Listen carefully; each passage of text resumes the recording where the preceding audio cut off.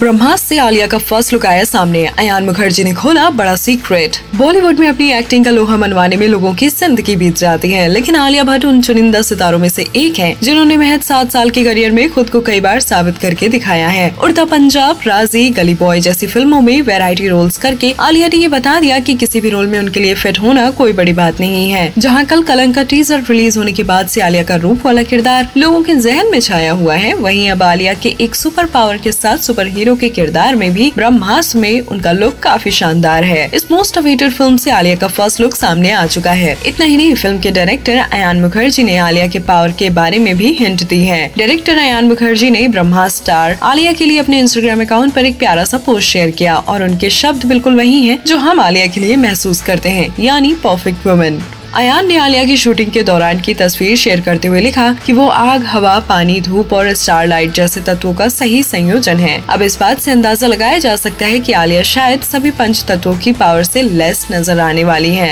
इस पोस्ट में अयान ने ये भी शेयर किया है कि कैसे आलिया अठारह साल की उम्र ऐसी अब तक में पूरी तरीके ऐसी बदल चुकी है उन्होंने लिखा की एक लंबा सफर तय कर चुकी है और कलंक के टीजर में उनकी सुंदरता बस एक झलक थी अयान की पोस्ट ऐसी साफ जाहिर हो रहा है की जल्दी वो आलिया की कम्प्लीट सुपर हीरो गेटअप वाली फोटो भी शेयर करने वाले हैं